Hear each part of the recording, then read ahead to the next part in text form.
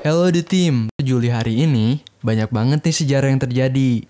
Inilah salah satu sejarahnya. Peristiwa 3 Juli 1946 adalah suatu percobaan perebutan kekuasaan atau kudeta yang dilakukan oleh pihak oposisi kelompok Persatuan Perjuangan terhadap pemerintahan Kabinet Syahrir II di Indonesia.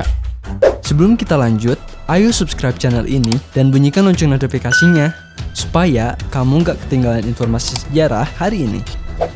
Kita upload setiap hari loh, karena bangsa yang cerdas adalah bangsa yang tidak melupakan sejarahnya. Pemicu peristiwa ini adalah ketidakpuasan pihak oposisi terhadap politik diplomasi yang dilakukan oleh pemerintah Indonesia terhadap Belanda nih. Kelompok ini menginginkan pengakuan kedaulatan penuh, sedangkan kabinet yang berkuasa hanya menuntut pengakuan kedaulatan atas Jawa dan Madura saja. Lalu, pada 23 Maret 1946, tokoh-tokoh kelompok Persatuan Perjuangan antara lain Tan Malaka, Ahmad Subarjo, dan Soekarni ditangkap dengan tuduhan bahwa kelompok ini berencana untuk menculik anggota-anggota kabinet. Kemudian, pada tanggal 27 Maret 1946, tuduhan tersebut menjadi kenyataan. Perdana Menteri Sultan Syahrir dan beberapa anggota kabinet diculik oleh orang-orang yang tidak dikenal. Kemudian, pada tanggal 28 Juni 1946, Presiden Soekarno menyatakan keadaan bahaya di Indonesia. Keesokan harinya, seluruh kekuasaan pemerintahan diserahkan kembali kepada Presiden Republik Indonesia. Upaya himbauan Soekarno melalui media massa akhirnya berhasil, karena beberapa hari setelah itu, seluruh korban penculikan dibebaskan kembali.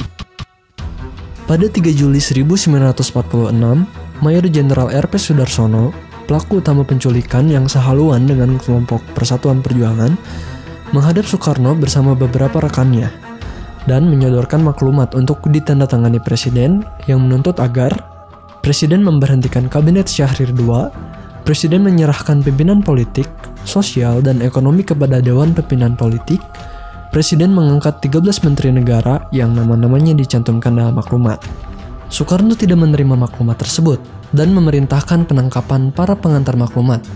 14 orang yang diduga terlibat dalam upaya kudeta diajukan ke Mahkamah Tentara Agung. 7 orang dibebaskan, 5 orang dihukum 2-3 tahun, sedangkan RP Sudarsono dan Muhammad Yamin dijatuhi hukuman selama 4 tahun penjara.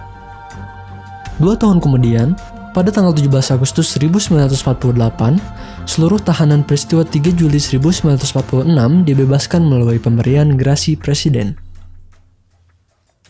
Nah, Edu Tim, itulah salah satu sejarah yang sudah kami rangkum dan sajikan di Edu History.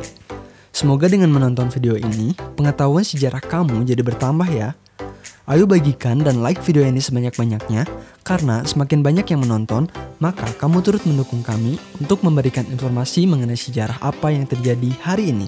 Alvin undur pamit, sampai ketemu lagi di video lainnya ya. See ya!